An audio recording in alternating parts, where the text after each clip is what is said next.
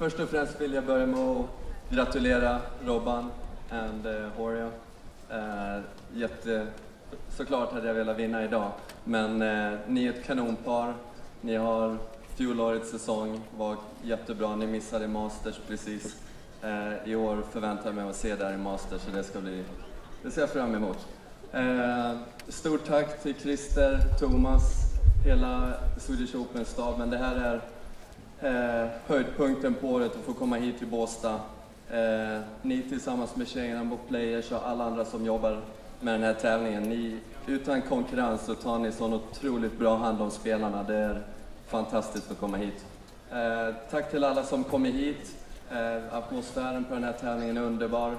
Eh, kan inte säga att jag kommer tillbaks nästa år som spelare, men jag kommer nog i alla fall att komma tillbaks många år som, Eh, på något sätt, som turist.